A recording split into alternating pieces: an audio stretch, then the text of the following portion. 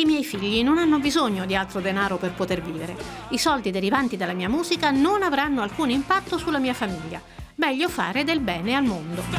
Queste le parole di Mick Jagger, riferite alla sua parte di diritti musicali dell'immenso patrimonio artistico dei Rolling Stones, valutato in 500 milioni di dollari. Il rocker più famoso del mondo, 80 anni per 8 figli, ha deciso che lascerà questa iperbolica cifra in beneficenza, consapevole che i suoi eredi hanno già una vita molto fortunata. Money, money, money stesso spirito da benefattore per Mark Zuckerberg, che non lascerà il suo patrimonio, stimato in 81 miliardi di dollari, alle sue figlie.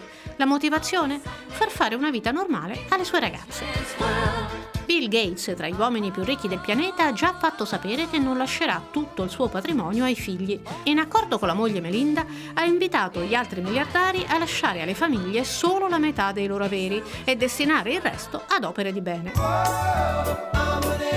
Meno ispirato da nobili motivi è Sting, che ha già fatto sapere di non voler lasciare un centesimo ai suoi sei figli. Dovranno lavorare per mantenersi, ha dichiarato lapidario.